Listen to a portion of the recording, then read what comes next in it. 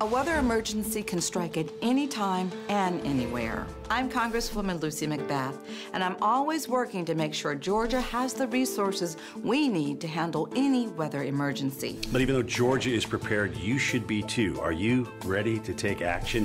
First, create an emergency plan. Next, practice that plan with your family and friends. And finally, stay alert for weather threats. When we prepare together, Georgia, We can weather any storm.